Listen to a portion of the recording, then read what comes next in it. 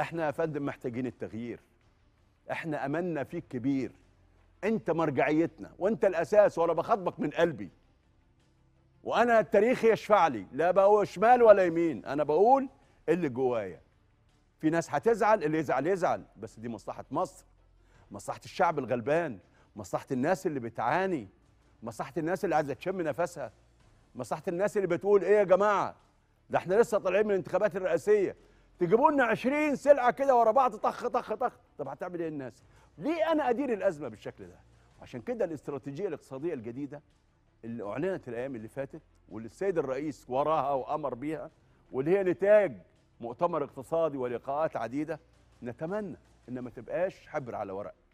ما عادش في في العمر بقية لأي مواطن. والست سنوات دي الناس متفائلة بيها. فنتمنى بالفعل إن إحنا نشهد خلال الفترة المقبلة حكومة جديدة بمعنى الكلمة. إذا كنا هنبقى على وزير ولا اتنين ولا ثلاثة إنما لا كفاية. اللي خدت أنت خدت حظك وعملت شغلك. ممكن تروح مكان تاني بس سيب الدماء تتجدد. ليه إحنا دايما بنقول الدماء تتجدد؟ أي حد بعد فترة معينة خلاص مش قادر. هذا لا يصلح في عهد الرئيس. اللي اتكلم عن الشفافية واللي عارف إن هذا الشعب لم يجد من يحنو عليه.